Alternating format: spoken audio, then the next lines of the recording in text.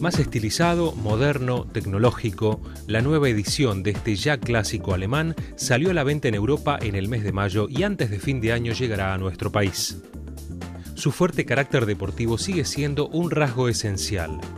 Cambios estéticos mediante el nuevo BMW Z4 se distingue por su largo capó, imponentes pasos de rueda, considerable distancia entre ejes y pequeños voladizos con la parte frontal baja, la gran parrilla ovoide doble, las branquias laterales, la marcada línea de cintura y la cola bien ancha, su presencia es imponente.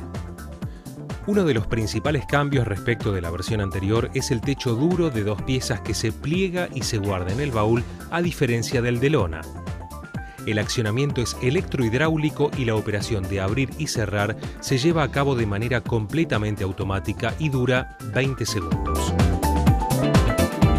Eh, esta es una novedad, es un pre-lanzamiento, así que bueno, con esto tenemos un, un verdadero roadster eh, año 2009.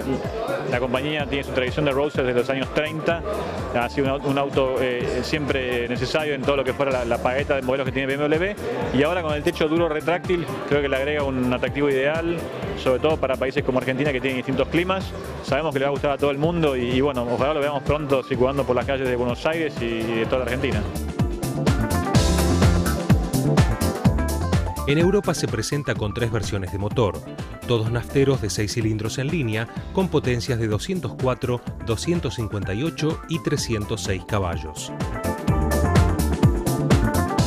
Todos llevarán de serie una caja de cambios manual de 6 marchas especialmente desarrollada para este modelo y que se distingue por su comportamiento deportivo.